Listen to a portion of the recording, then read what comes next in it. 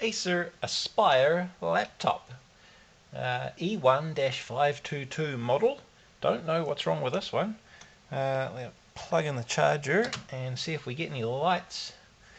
Um, I see we have a battery charging light on the on the front edge. You can't see that, um, but does it turn on?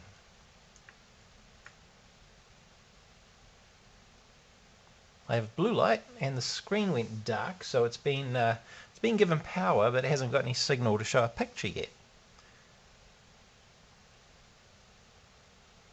Don't hear a fan or anything, and I've got no picture, but uh, it doesn't turn off right away. If I hold the button down, it's turned off. Okay, let's get up close with a torch and see if maybe it's a backlight issue, missing backlight.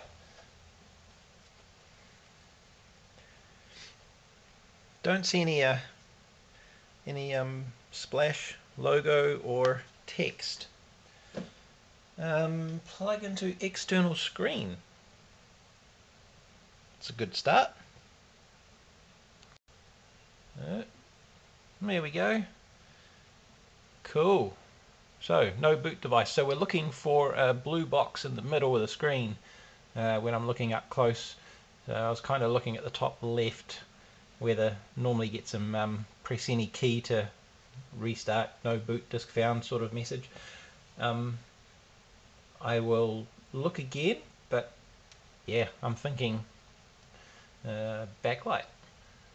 Well, I really can't see anything up close where, where it should be on the screen, so I'm thinking maybe we've got a, a, a cable fault uh, to the screen. It's not carrying uh, signal. Maybe there's a break in the cable would be one option.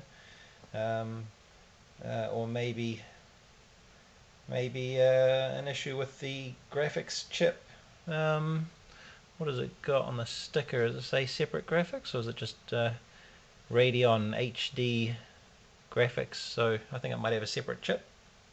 Um, it could be an issue with that uh, and the external um, I'm not too sure how, how the external ports tied in with the internal LVDS but uh, we'll have a look.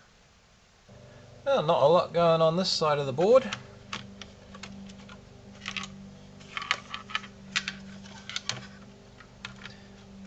pretty basic on this side of the board and doesn't have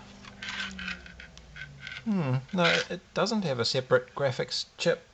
It's all part of the processor so uh, that's a good start. You can't even see through the fan. It's that plugged up with the fluff. Probably find it uh, maybe it overheated a few times and it's actually just permanently ruined it. Let's see if we can figure out what feeds the video port versus what feeds the LVDS uh, connector. It's, it's got to be all coming out of the processor directly, I think. And if you have a look at the screen flex, it's not corroded or anything. The connector is nice and clean. So I managed to find a schematic and, uh, and it'd be a bit tricky to just sort of guess our way through it because the board is so minimal. Uh, it's not like we can just pull up a uh, IC um, and check a data sheet and work out what's going on. It's all out of the processor. So um, go for a schematic and uh, the connector is labeled uh, LVDS1 so we'll do a search for that and there we go. So now we can see what's happening on the pins of the connector. And uh, so there we go. So what have we got? On the bottom at pins 30, that end of the connector, we've got our DCB bat out. Now what I noticed is um, it's called out. So we've got battery out, uh, backlight on, out, uh, it's it's not out from the panel though. It's it's out from the source and, and and into the panel. So don't worry about that. But that's that's our main power in. Um, and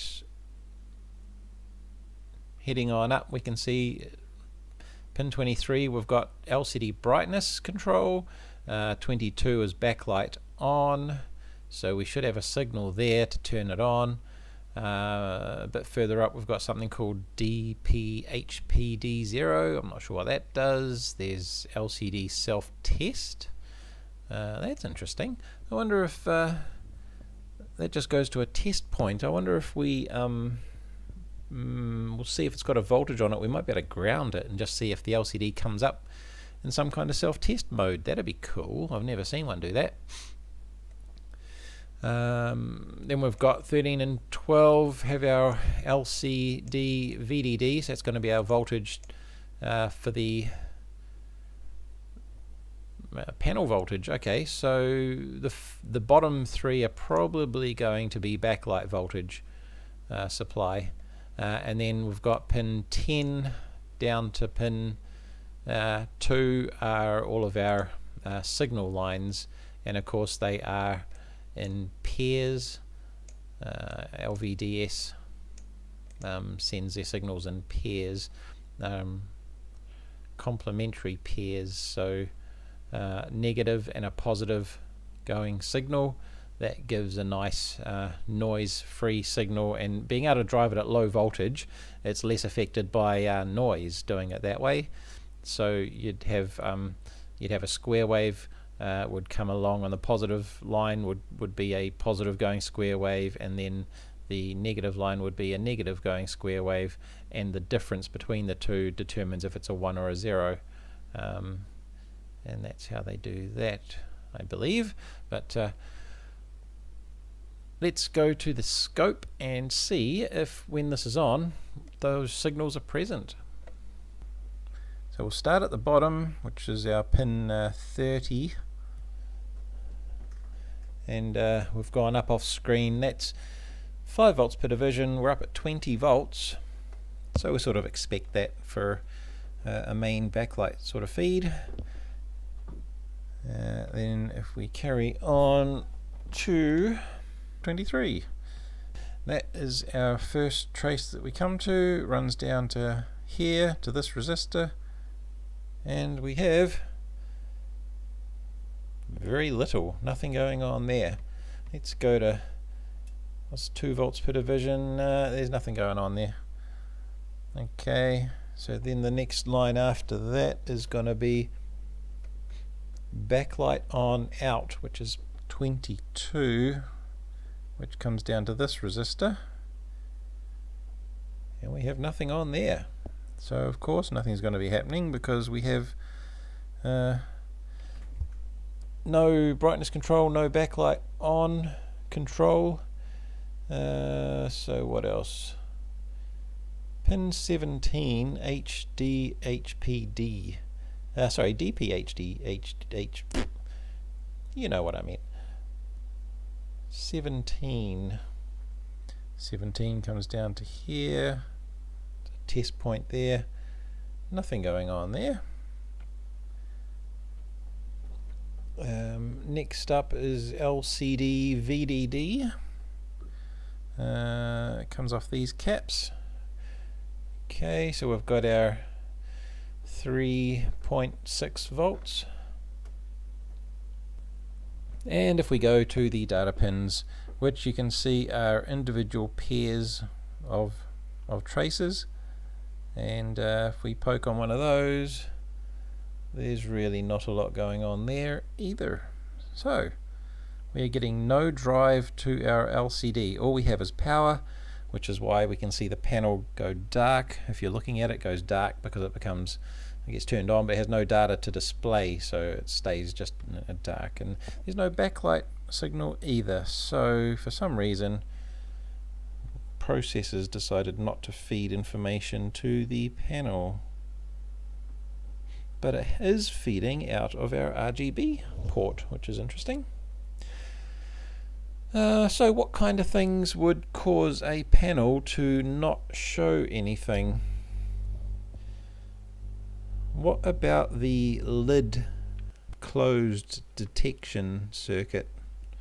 What if it thinks the lid's shut, so it's not going to show anything as a result? if you have a look, what I've noticed on a, on a few laptops now is uh,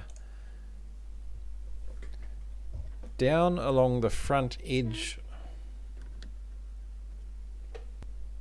there's quite often a Hall effect sensor because there's a magnet in the lid and as it closes it comes down and it sits over the top of this in close proximity. So uh, this will detect a presence of a magnet and uh, change a signal to suit to tell the system that the lid's shut. So if we get a pin at the top pin there it's got no signal on it and a pin that's got voltage and that one's got a voltage. So if we grab a magnet and bring it near we'll see what happens. There we go. Move it away come back. And you see the signal being pulled to ground. So we know that is working. But uh, is it getting to the processor? I'd almost guarantee it, it follows the trace under to this resistor and then over here. So we'll check on that test point there. So we'll probe on that and bring our magnet over. Good and that's working. So it's getting through the resistor so that's not a problem and then it's diving off to what needs to know probably the PCH or something um, like that. So that could be a problem. If that doesn't see the signal at the other end it's not going to initiate the screen. So um, where is the screen driven from? Let's dive back to the schematic and find out where the backlight control and whatnot signals come from. Here is okay if we follow backlight on out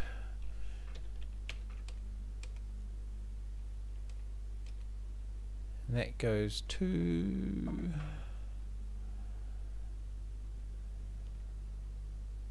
here. Whatever this chip is, this chip is our looks like possibly our system management controller. What does this say down the corner? Oh yep, ITE8587. That's going to be our uh, system management controller. um, this takes in signals like uh, temperature uh, sensing and controls the fan. There's the fan there. Um, it'll monitor the power button to know when that's pressed. It will uh, do what else does it do? Checks the presence of the charger plugged in um, turns the hard drive on and off. Uh, what else does it do? A bunch of other stuff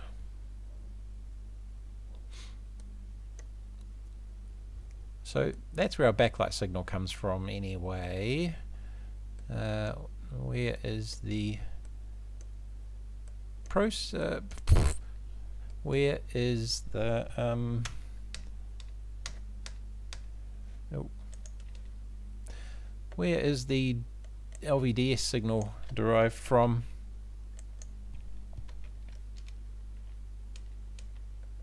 Ah, let's delete the four.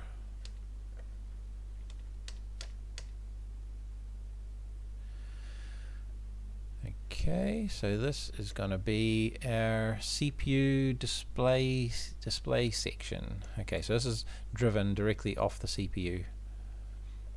And we had no signals there. Why? Why, why, why? There's a something backlight enable signal and a something backlight control signal.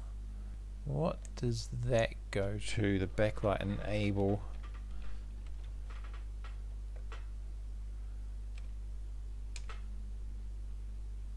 Okay so the processor puts out a signal um, backlight enable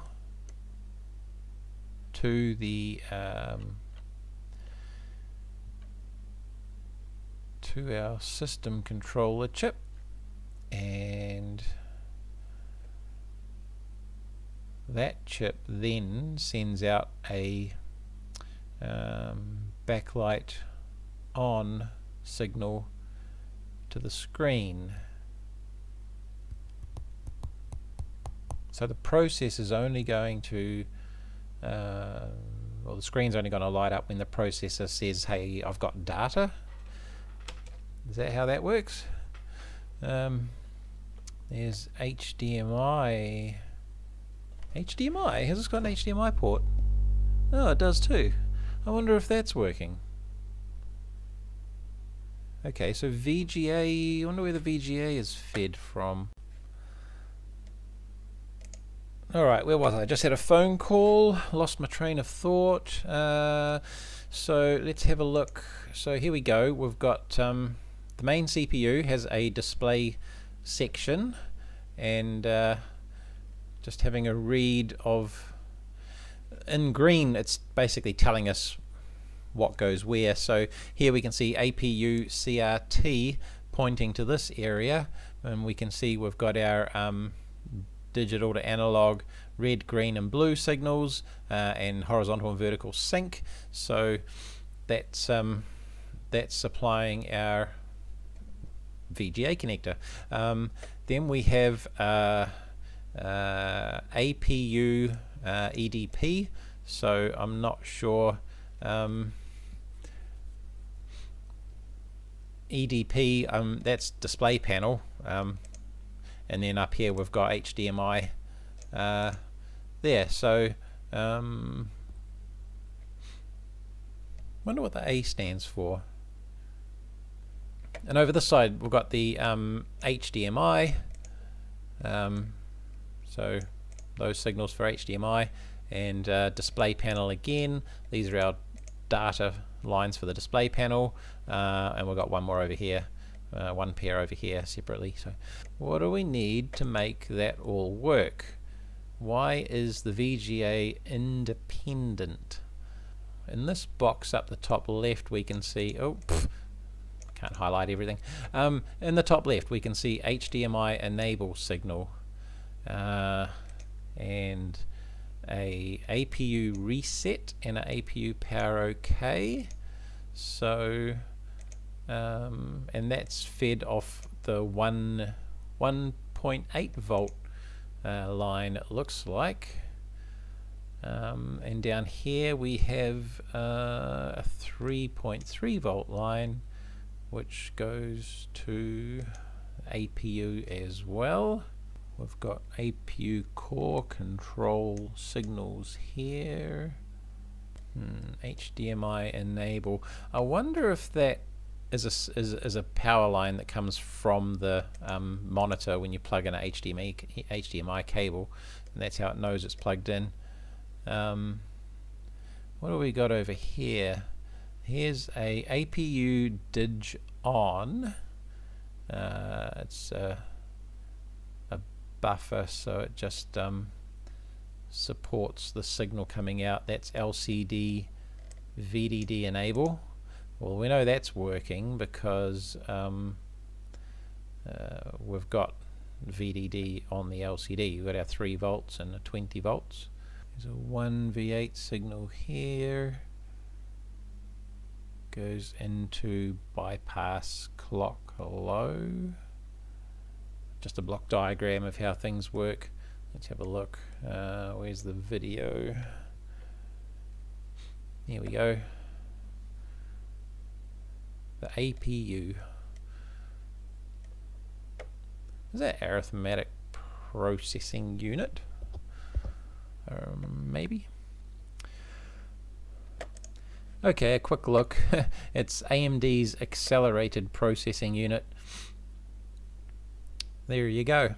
The APU feeds. Uh, HDMI and display panel seem to be tied together, so I did uh, scope the HDMI port and there is no signals there either. I was looking at this um, power block diagram that shows the flow of where the input goes through all the regulators, etc. And I had a thought, what if somehow this uh, needs to know that there's a screen attached in order to make an image? And when I scoped the HDMI socket, there was nothing uh, there, no no signals. So I um, I plugged in a HDMI monitor and I got an image.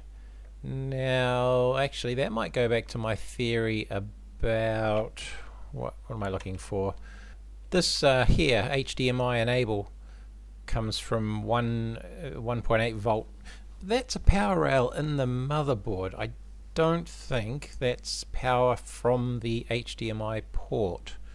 What is this port called? Let's just go there and have a look. HDMI 1, like LVDS 1, I should have known that. Uh, HDMI 1, there's the socket. We have data, clock, um, another data and clock line, 5 volt HDMI line. Now that is looks like it comes from the laptop not from the monitor. Uh, and then uh, here we go. HDMI con HDMI detect. So when there is a voltage that comes from the monitor uh, to turn on this transistor by the look of it which then creates a high on this line which tells the system that there's an HDMI screen now plugged in. So if we find that signal, HDMI detect, yeah that goes into our processor as well. Funny it shows an out, got the arrows coming out of the processor, but it coming out of here. I'm, I'm sure it comes from the screen so it knows it's plugged in because without that this transistor stays off so uh, its base is being pulled to ground through this resistor uh, well shared resistor. It says do not stuff which is probably should say no stuff which means that resistor's not there. Well that's what we're looking at. So okay so there is a way for it to know. I've taken a bit of a closer look at this and I wanted to know what this line here does. So DPHPD0. So that looks like it's coming out of the connector and it goes to here. I don't know, does that mean high performance display maybe? Uh, high active. So we can see by this resistor that this signal is normally grounded. It's normally zero, which means that the display is going to have to make that pull that high. And what have we got for resistance? There's 100k to ground and 1.2k to wherever that goes.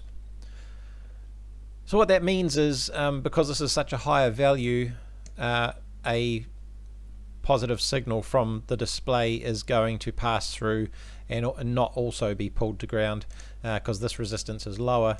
So uh, let's follow this and see where that goes. That comes into here, DPHPD. I think, and that's the arrows are pointing left, that's going into the chip. I think this signal needs to be present to tell the processor that this display is attached and active. I think we have a LCD panel uh, problem. It will be on the control board on the uh, uh, in, in the screen unit itself. Uh, either that or the loom has broken in between so the signal can't get uh, through. So in the hinge itself, maybe the, the if the wire's finally broken, uh, that could be stopping the signal coming through. And I was right. You can see as I've started peeling this back, we have broken strands sticking out there.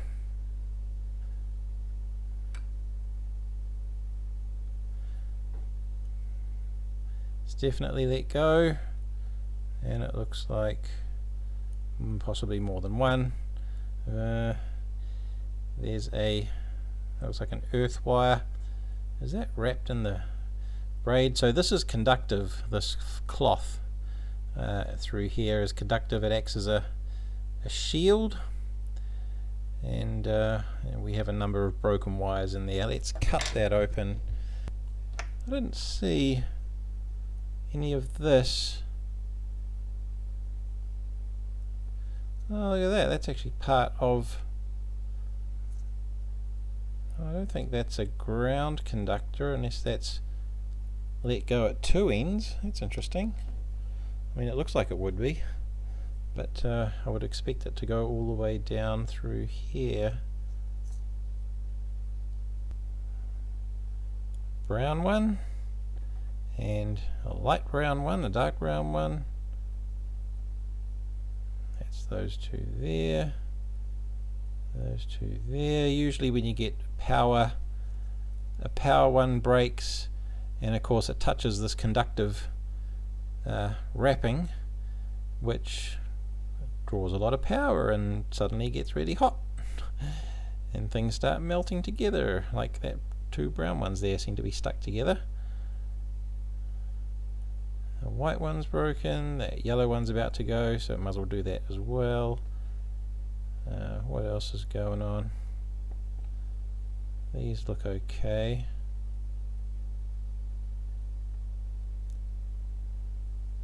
It's funny the rest of these look okay. Yeah, that's just that's funny. All the rest of them seem alright, and uh, only one, two, three, four are broken. We could patch them back together. Not a hard job, just a pain in the butt job.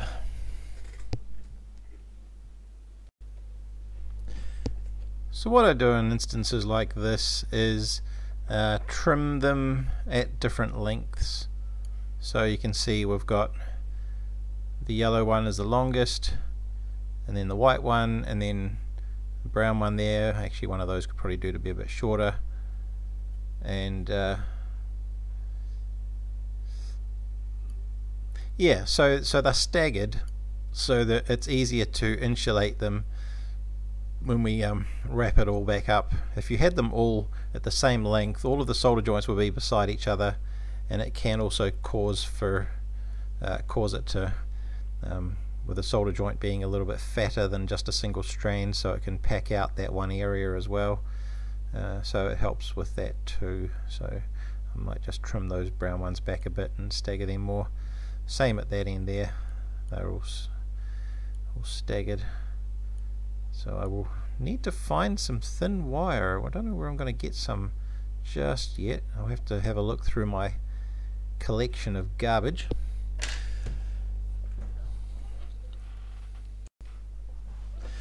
Well, I've found a connector that'll do the job. Well, I should say wire. it's got um, connector at each end, of course, but it's out of a laptop and it's already pretty fine. It's the closest I'm going to get to match that so we'll run with it. Um, yeah, this is this this connected the motherboard to a little PCB on the side, and this particular laptop that, that had the USB ports on it, I think. You'll notice that um, a couple of these lines, or th three of these lines, are twisted together, and they are the three data pairs and they're twisted to ensure um, signal integrity and, and further uh, be resistant to noise, external noise. Yeah, there we go. That's close enough. Uh, plug it in and give it a quick test, make sure that everything's going to work and we haven't missed anything. Uh, I mean, it's possible that the panel itself is damaged. Is uh, if it was that wire was touching the shielding here, uh, then whatever's supplying that 5 volts could easily get burnt out if it's not designed to supply a lot of current. Alrighty, ready to go. I'll hit the power button with a set of tweezers because that's how we roll. I'm just bridging the contacts on the connector. I don't have the thing plugged in. There we go. It's not the first time I've seen a broken cable, so... Okay, let's uh, wrap all that up and make it nice and insulated and uh, put it all back together. So I ended up wrapping it in Kapton tape uh, because it's really thin so you get a bit more flexibility than you would out of insulation tape. If you had a couple layers of insulation tape it would get quite fat and bulky. Uh, so I use Kapton tape and it's also nice and sticky so it shouldn't unravel. Well, there we go. All back together and uh, working quite happily. So, um, I mean, you probably could have just dived right into looking for a problem in the flex if you didn't have access to a schematic, but a uh, little bit of thought thought process into the lines and where they go and what they might do, and uh, helped us work it out. So, hope you learned something, and uh, thanks for watching.